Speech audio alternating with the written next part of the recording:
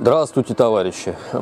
Предыдущее видео, когда я рассказывал про скрытие, а точнее, если говорить про взлом все-таки, да, двухсистемного замка Чиза, получил невероятное количество хороших отзывов.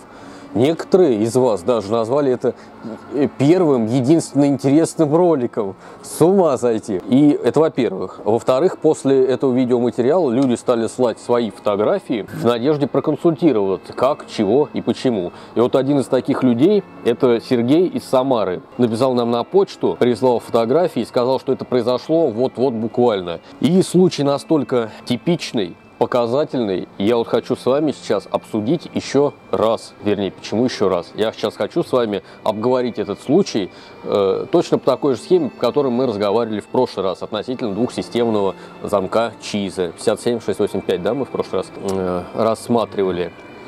Итак, э, дело в том, что Сергей ответственно подошел к вопросу и аж две пачки фотографий мне прислал. И эти фотографии у меня есть, соответственно, я их буду вставлять где-нибудь рядом, там, где место будет, да, в зависимости от того, как съемки проходят. А, но мне их сейчас нужно просматривать будет для того, чтобы выстраивать политику разговора, для того, чтобы на что-то ориентироваться при рассказе. Итак, начнем со слов Сергея. Во вложении фото с места преступления. Скрытая квартира тоже запечатлена. Инструмент у моей двери взяты у соседки злоумышленниками. Предполагаю, что начали с моей двери. Она хоть и дешмань, но подороже деревянной двери соседки. Сломали замок и решили влезть с инструментом к соседке. Мой за, э, глазок был залеплен. Есть мысли, что орудовали с пятницы по воскресенье, по крайней мере, учитывая стандартные проверки на наличие жильцов. То, что я говорил в прошлый раз, повторюсь еще раз. Лето – это череда квартирных краж. Бывает, что за одни выходные – это череда квартирных краж. Это время, когда люди не только с пятницы по воскресенье оставляют целыми подъездами свои дома. Это время, когда люди на 2-3 недели уезжают в отпуска, либо на даче, либо в теплые страны, у кого какой бюджет и у кого какая заинтересованность. Поэтому то, что мы сейчас с вами описываем, это совсем стандартная ситуация.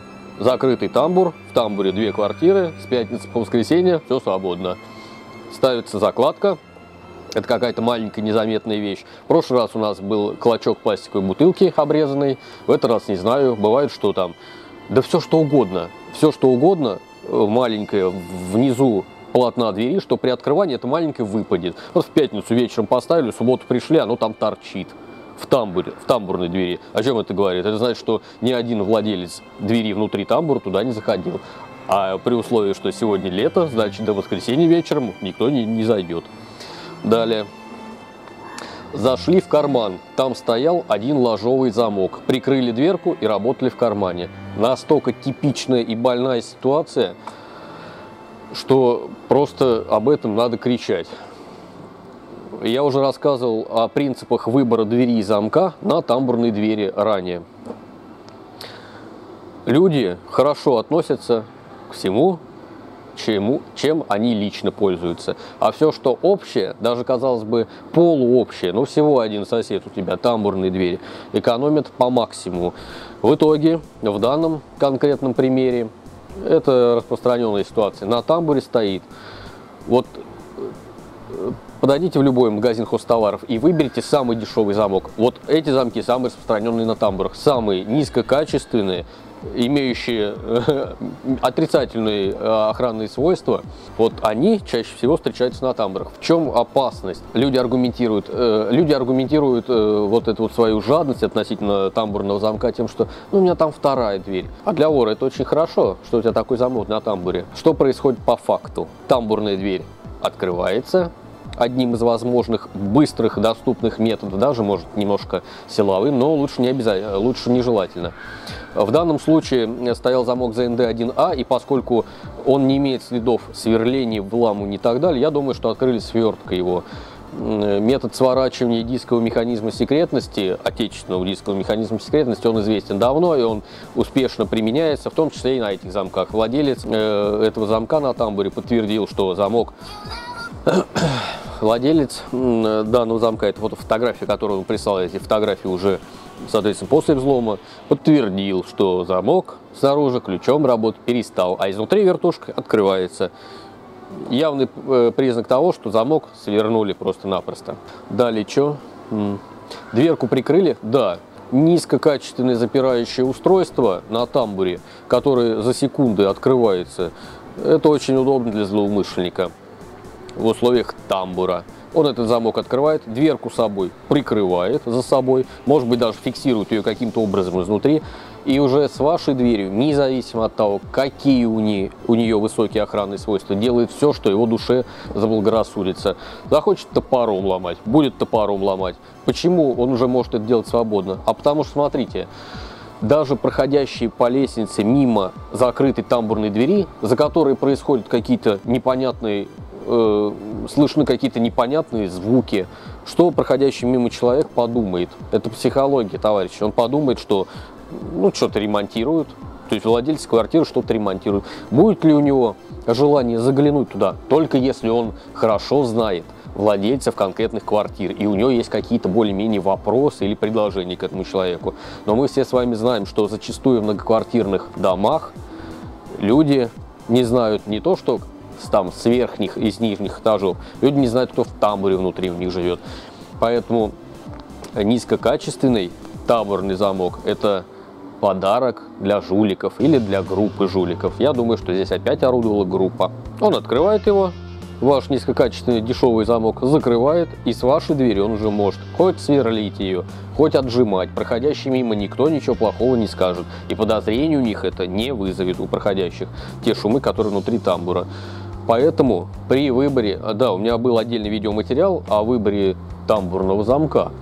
Поэтому при выборе тамбурного замка учитывайте это. И мы акцентируем внимание на том, что на тамбурном замке, э, на тамбурной двери должен стоять замок э, с не, не менее качественный и с не меньшими охранными свойствами, чем на двери квартиры, ну, чтобы вот таких вот случаев не было. Так, значит, зашли в карман, то есть в тамбур, в котором стоял один ложовый замок, прикрыли дверку и работали в кармане. Сергей утверждает, что начали с моей двери э, зачем? Если они инструмент взяли у соседки раз, а во-вторых, начинать с более простого варианта всегда проще. Потом у тебя будет эмоциональный настрой. А тем более у соседки э, деревянная дверь с одним замком для деревянной двери. Э, насколько я понял, там стоит 152 3MR коле и цилиндр Apex, который самый-самый примитив. Э, открывается, если не всем подряд, то почти всем подряд. В целом нас не было с пятницы по понедельник, соседки почти все лето нет. У нее, кстати, украли пару золотых вещей. Да, это не причина для того, чтобы потратить 5000 на тамбурный замок или на тамбурную дверь. У меня же ничего нет, у нас красть нечего, люди говорят. А вот э, потом уже, когда туда залезут, когда украдут два ноутбука по 30 стоимости каждый, а у жены украдут шкатулку, э, в которую вы туда э, золотые колечки и сережки полжизни складывали. Вот тогда люди почему-то начинают думать по-другому и вещи считать по-другому. Это первый момент. Второй момент. Э, люди, у которых внутри в квартире без разрешения рылись в постельном и в нижнем белье грязные воровские руки, у них самое большое Э, разочарование и самый большой шок именно вот от этого свинского отношения, а не от того, что у них там два ноутбука, э, которые можно там кредиты за два месяца выплатить или за год, допустим. Самое большое шоковое состояние человек получает от того, что какая-то свинья вел в его квартире, не, не только позволил себе что-то дернуть, но и вел в его квартире по-свински. Так, все остальное не взяли, вся техника осталась. Ну, конечно, ее тащить надо, эту технику, а потом куда-то сбагривать. Э, пару золотых вещей, э, ну, явные наркоманы были, сто процентов. Э, прямо их почерк. Так, соседи вообще ничего не заметили странного. В общем, мне повезло. Да, что мы можем наблюдать? Тамбурную дверь открыли получисто. То есть замок после этого тамбурный не работал, но его открыли без взлом. Вообще, если говорить про этот ZND1A, вот я бы как его открыл, например, да, там тем более между цилиндром и дверью большая щель. Я бы ставил туда большую отвертку и пару раз молотком долбанул. И он бы отлетел, а дальше замок открывается отверткой. Э, я сейчас никому не открыл никаких Америк. Во-первых, это на ютубах миллион раз рассказывалось и показывалось. Во-вторых, это э, интуитивно понятно. Если у тебя какая-то штуковина стоит, и в этой штуковине находится механизм секретности, то в первую очередь эту штуковину хочется отодрать. И так и происходит в криминальных... Э, мы не первый раз встречаем криминальное вскрытие именно этого замка, он необычайно распространен за НД-1А. Тем не менее, у людей была свертка. Я все-таки настаиваю на том, что это свертка э, была. Э, почему? Во-первых, в Ютубе, как изготавливать этот инструмент и как им работать на конкретных замках, только ленивый не показал. Э, показывали не только люди, которые торгуют инструментами различными, что, на мой взгляд, не очень правильно, но и в том числе те люди, которые к замочной дверной деятельности вообще никак не относятся и зарабатывают чисто на просмотрах, на рекламе. Те тоже показывали, как изготавливать сначала свертку для дисковых замков, потом скрывать. Поэтому даже человеку недалеку ума, а я все-таки думаю, что это, я дальше подтвержу эти слова, попытаюсь подтвердить, я думаю, что это все-таки люди недалеку ума, они смогли изготовить тупо избитый и наждака эту свертку и использовали его для вскрытия дискового механизма секретности отечественного производителя. Дальше Сергей говорит, что ломали его дверь. Нет. Нет. Ломали соседскую дверь.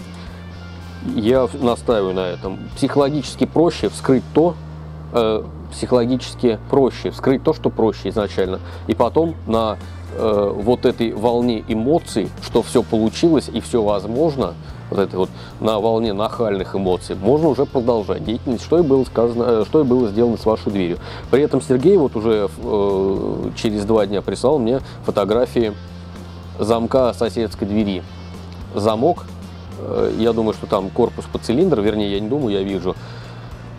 Ручка стоит ручка без повреждений и цилиндровый механизм с английским ключом Apex. И тоже все стоит. Это что значит? Э, это значит то, что э, соседка продолжает пользоваться после вскрытия этой двери. А это что значит? Это значит, что цилиндр, э, что цилиндровый замок был вскрыт чисто. Кстати, цилиндровый механизм Apex чисто вскрыть возможно, если не всеми методиками, то почти всеми в том числе примитивными э, ковырячками, которые можно купить на Алешке. Э, там все прекрасно продается. Вот. То есть люди, которые проникали сюда, обладали примитивным инструментом для чистого вскрытия. Это свертка, но будем считать, что это чистое вскрытие, да, все-таки это вскрытие без повреждений. Э, это позволило им за собой закрыть дверь таким образом, что снаружи было непонятно, кто там орудует. Замок не, не взломанный, все, в общем, на своих местах, а там что-то ломается. Вот. И Apex, я все-таки настаиваю на том, что они открыли его чисто. Все-таки все в том же YouTube Вскрытие цилиндровых механизмов ковырячками показано миллионами людей, миллионами, как русскоязычных, так и англоязычных. Я этого против глубоко. Я не могу себе это позволить. Я считаю, что у меня немного другое направление. Но это нужно принять за факт. Если на вашей двери стоит примитивный цилиндровый механизм секретности или примитивный замок – вы рискуете быть вскрытыми любым школьником, который посмотрит и который смотрит эти видеоматериалы. Я думаю, что здесь была дверь чисто открыта у соседки. После Сергей присылает фотографию с разложенным инструментом рядом с его дверью. Дверь у него китайская металлическая, ну, так сказать, металлическая. Вот почему я настаиваю, что лезли либо наркоши бестолковые, либо все те же бестолковые школьники, там 15-16 лет. У Сергея стоит китайская металлическая дверь, и люди пошли по верному пути ее вскрытия. А, и два цилиндра. Люди пошли по верному пути вскрытия, переломили оба цилиндра, но при этом Сергей пишет, внутрь двери не попали. О чем это говорит? Люди бестолковые открывали. То есть они знали, что снаружи можно что-то ломать. Они это и делали. То есть ломали и, скорее всего, ломали правильно цилиндры. Кстати, вон там еще половинка отломанного цилиндра у него торчит. Вот. Но дальше не пошли. То есть цилиндр-то как ломать? А может быть даже они купили, вот есть один товарищ, по-моему, из Красноярска, продает выдиралку цилиндров.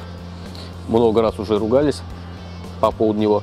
Кстати, и э, следы, которые рядом находятся с дыркой под цилиндровым механизмом секретности, очень похожи на этот выдиратель. Вот. Вполне вероятно, они этот выдиратель приобрели, а что дальше сделать не поняли. Либо э, выдрать цилиндр пришлось такой силой, такой бывает, что деформировался корпус, и после выдирания этого цилиндра э, заклинил сам корпус. Такое случается действительно, это не самый. Поэтому, кстати, э, люди по аварийному вскрытию замков не любят выламывать цилиндры из корпусов, потому что сам корпус может, это не, очень рационально. То есть цилиндр можно переломить, допустим, за 20 секунд, а потом 2 часа открывать этот корпус, который заклинил из-за того, что у него детали деформировались. Вот. В общем, мы с вами наблюдаем дверь Сергея, на котором выдраны были оба цилиндра. Это не совсем понятно, что там за наклейка. Наверное, а, слушай, это похоже на сувальный замок, но почему-то... А может быть у Сергея был закрыт на сувальный замок, дверь. Если это наклейка именно скважины сувального замка, Сергей, я много раз убеждался в том, что люди, которые умеют выламывать цилиндровые механизмы секретности, даже при наличии броненакладок, при наличии сувального замка они просто уходят.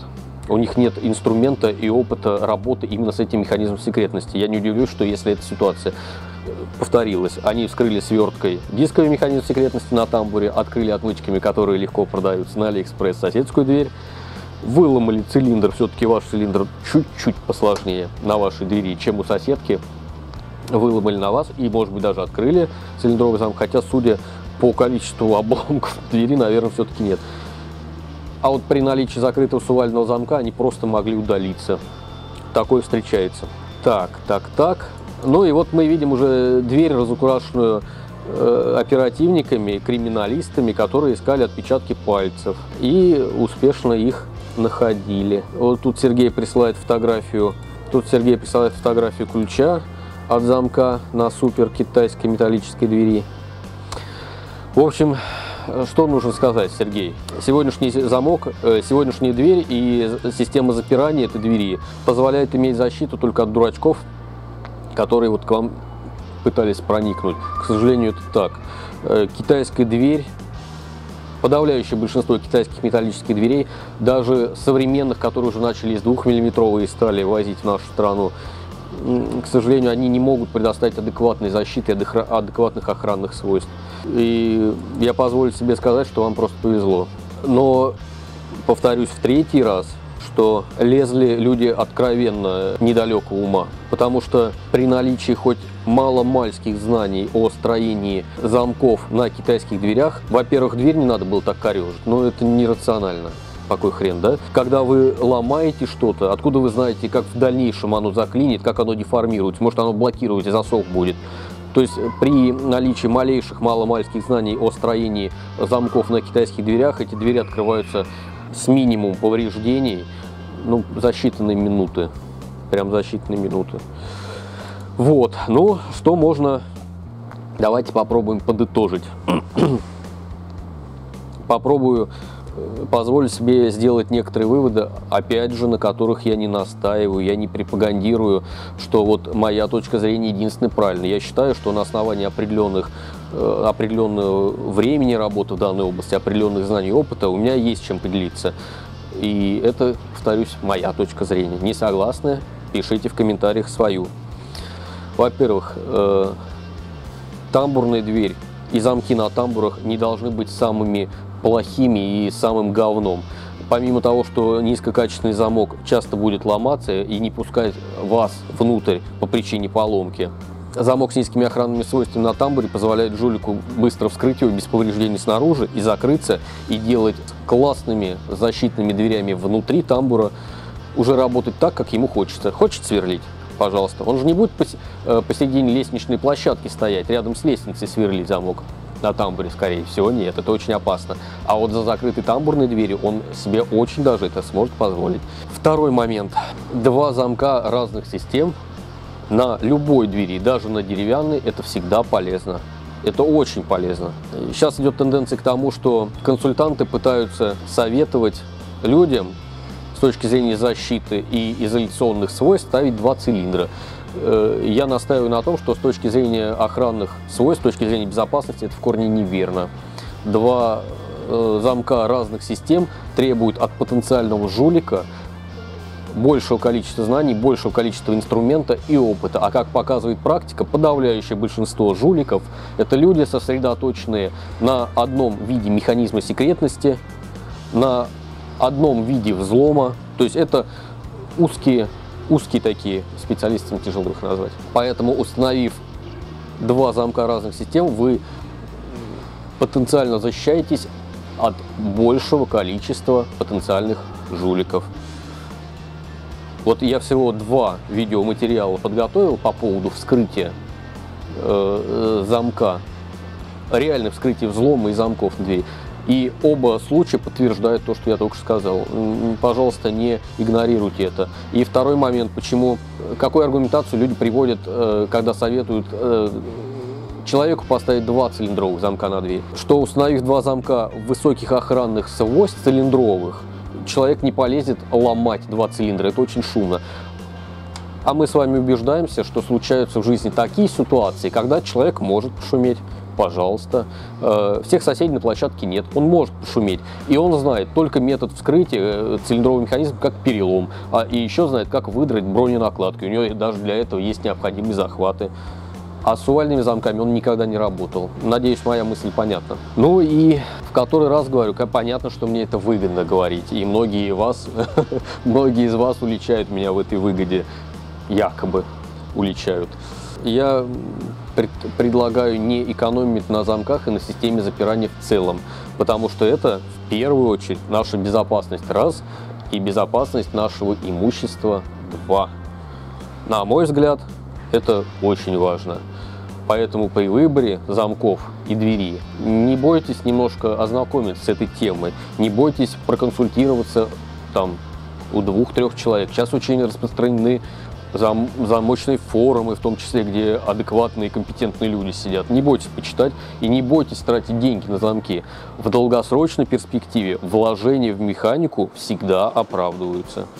Ну, на этом закончим. Если у вас есть свои экземпляры взломов, вскрытий, вам интересна э, такая рубрика на этом канале, присылайте. Будем пробовать рассуждать, размышлять и на фоне этого делать определенные выводы по системам запирания двери и так далее. Ну, на этом все. Пока.